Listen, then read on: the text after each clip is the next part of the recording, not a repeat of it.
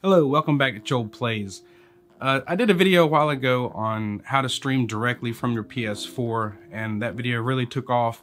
A lot of people enjoyed that it was a, a, budget feature of the PS4 that you could stream without a capture card and you could have chat and your face cam. But today I want to show you how you can stream your PS4 gameplay to something like OBS and that allows you to use something other than the PS4 camera for a face cam and it also allows you to do things such as overlays, alerts, uh, all that fun stuff.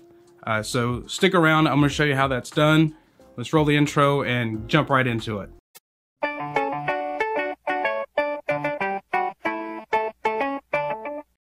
So streaming your PS4 to OBS uh, without a capture card, we're gonna use the PS4 Remote Play app on your Windows PC or your Mac, depending on what, what you have. And then we're gonna capture that window in OBS and then we'll be able to stream, add overlays, add face cams, alerts, and other things like that to your stream to make it look super professional.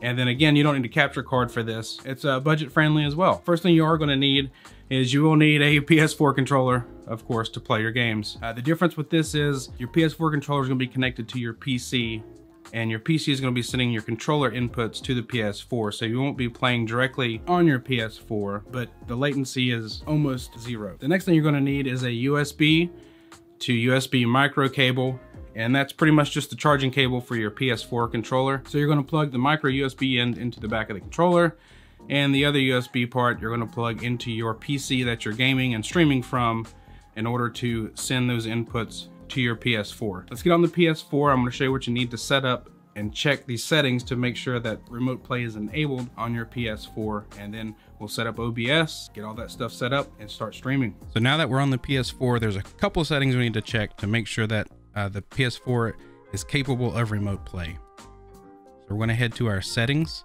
Uh, we're gonna go to account management and activate as your primary PS4. Uh, in order for this to work, the PS4 you're streaming from has to be your your primary PS4. If it's already set, uh, at the bottom it'll say this PS4 is activated as your primary PS4 and you're good to go. Otherwise, you need to activate it and go through those steps. The next thing you need to check is a setting called Remote Play Connection Settings. So in here, you need to make sure that Enable Remote Play box is checked. Uh, don't worry about the Vita or the PSTV. We're not streaming to those. So enable remote play is checked. The next setting you need to go to, uh, power save settings. And these are very important. Uh, set features available in rest mode. Stay connected to the internet is the first one you need to check. Uh, that makes sure that uh, the PS4 is always listening to a network connection. If there's any request to turn the PS4 on, you can enable turning on PS4 from network. So these two boxes are extremely important that allows the Remote Play app to find the PS4 even if it's not on, and it also enables the PS4 Remote app to turn it on. So make sure those two are checked. You have your active uh, PS4 you're streaming from, and make sure that Remote Play is enabled. So at this point, we can just head back to the home menu. We're going to jump onto the PC, and I'll show you how to download and set up the Remote Play app. Okay, so now that we're on the PC, the first thing we need to do, of course, is download the PS4 Remote Play app. Open a web browser, uh, PS4 Remote Play. We're going to search for that. Uh, the first thing that pops up should be the correct one. It'll look like this. Uh, then you can choose to download either the Windows version or the Mac version. Uh, go ahead and download and install that application, and then you're set up. Uh, if you do need more information, this is the stuff I'm going through as well. Uh, this page has all the information you need uh, in case you don't want to listen to me anymore, you can go through that stuff as well. So once that is done, you can start the PS4 Remote Play app. It's going to check for any updates. So now here we are. First thing you're going to see is to pair the controller and the adapter. You can use a Bluetooth adapter for your DualShock 4. However, I choose to do wired. Uh, that removes just a little bit more latency. So I'm going to go ahead and connect my PS4 controller to the PC via USB. And then we're going to check out these settings. You can sign into your PlayStation Network if you want to. Uh, that allows you to find your PS4 a little bit easier. Uh, resolution. Now, there are some caveats here. Uh, I do have it on 1080p. However, you'll see that if I change it from 720 to 1080, it'll say it's only available for the 7000 series PS4s, which means that you can only get 1080p if you're using a PS4 Pro. Uh, for the Slim or the original PS4, you're, you're going to be stuck at 720, which is perfectly fine. I'm going to use 1080p. Also note that my PS4 is hardwired to the same network as my PC, which is also hardwired. If you're doing this over Wi-Fi, you might have uh, worse latency issues. Uh, you may have some stuttering, some buffering going on. So if you can, I highly suggest you hardwire both your PS4 and your PC to the same network. And hopefully that'll mitigate a lot of problems. Frame rate, again, uh, I'm using high because I have a fast connection to my PS4 from my PC. If you're having issues, you can always drop that to standard. Uh, that's going to be the, the difference between 30 frames a second and 60 frames a second. I'm going to click OK. Now you may have this to where it just says push the options button on the controller to start. I'm going to hit the options button and it's going to search for my PS4. This window will pop up, which is my PS4 on my PC. I mean, that's all there is to it. You can play your PS4 from your PC uh, using your controller attached to your PC and you're good to go. So now that we have a window, let's get this into OBS. So let's open OBS. Now that we have OBS, I'm going to add a new scene. I'll call this PS4 Remote Play. I'm going to add a source. Now the source I'm going to add is actually called a window capture. Uh, you can do display capture, but you're going to get everything on your uh, screen at the same time. Window capture is going to limit it to just the window that you want. So I will call this PS4 remote play window. And then PS4 remote play is the one that you want. The streaming toolbar is the small pop-up at the bottom of the PS4 remote play window. That doesn't get you a whole lot of anything. So make sure it is the remoteplay.exe PS4 remote play. And then you'll see that that's captured. It looks just like it does on the on the screen. I'm going to uncheck capture cursor because if my if I'm playing a game and I move my cursor on my PC, I don't want that cursor coming across the gameplay. Uh, that's totally up to you. I'm going to click OK. Now that I have this window, I can right click on this in OBS, go to transform and fit to screen. And that's that.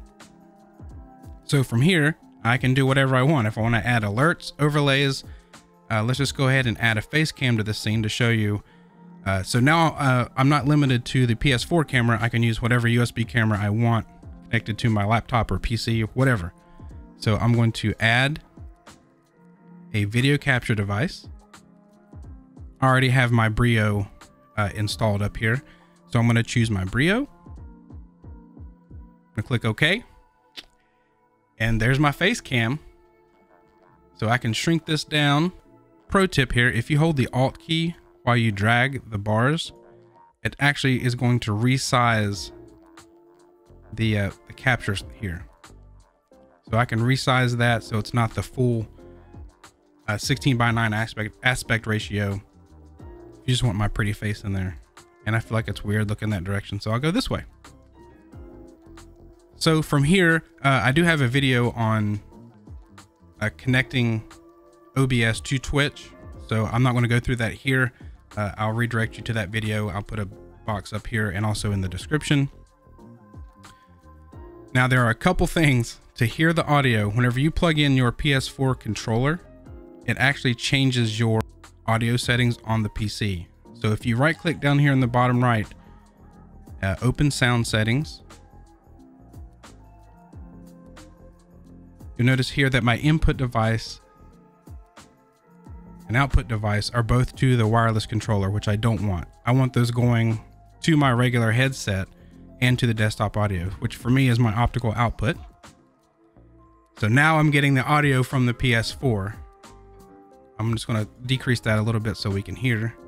If we go back to my sound settings, now the other cool part about this is your party chat and all that stuff is also going to be available and you can use the microphone plugged into your PC to get your uh, chat audio to the PS4.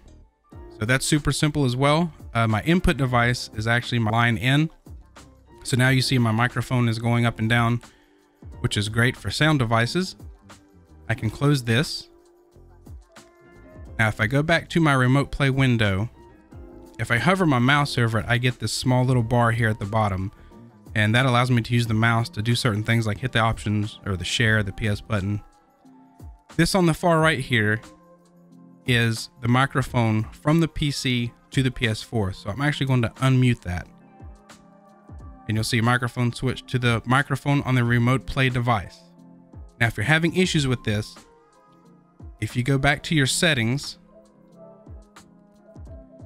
devices and audio devices, you want to make sure your input device when your remote play streaming is set to microphone on remote play device.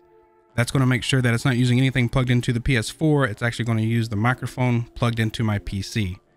Uh, output device is normal. So another way you can test this is down at the bottom when I'm speaking, you'll notice that the microphone is lighting up to show that it is listening to me. Another thing you can do is you can check your uh, voice commands to make sure that it's actually hearing you. So I can PlayStation, take screenshot. So there you go.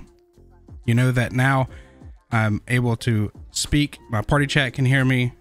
The PS4 can hear me. And also OBS can hear me because it's set up on here as well. So it's a perfect solution. Doesn't require a capture card. So now if you want to see what something like this would look like, uh, I'm just going to restart my Ghost of Tsushima. And you'll notice that I'm, I've got the remote play window here and I can keep my OBS up top or whatever. And then I can play and stream. I have my face cam, that's not the PS4 camera. Uh, I have zero, little to no latency uh, on the controller inputs. And I can record, stream to my heart's content. So there you have it, a very smart, simple way to stream your PS4 through something like OBS for a more professional feel than streaming directly from the PS4 itself. Although both are great options and it's fantastic that PS4 has provided those types of solutions for streamers, again, I will say you do need a decent connection between the PS4 and the PC in order to pull this off. And you will also need decent internet to stream to Twitch or Facebook, YouTube, things of that nature. I hope you guys found this video extremely helpful. Uh, if you have questions, leave them in the comments. If you look at my past videos, I try to answer every single comment and I try to play tech support for you guys, which is fun for me because I love researching and finding out more information about this stuff or troubleshooting. Uh, I'm not always the best or fastest, but if you have questions, let me know. If you have a video you want to see, let me know. If you want to promote your channel, ask just ask me before you do it.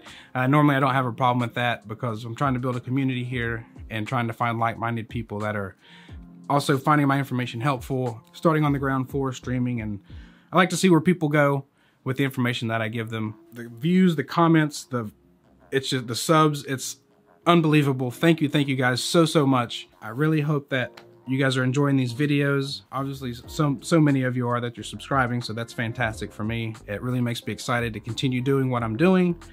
And it makes me even more excited about streaming and gaming as well. So thank you again for all watching, subscribing. I love you all. Peace.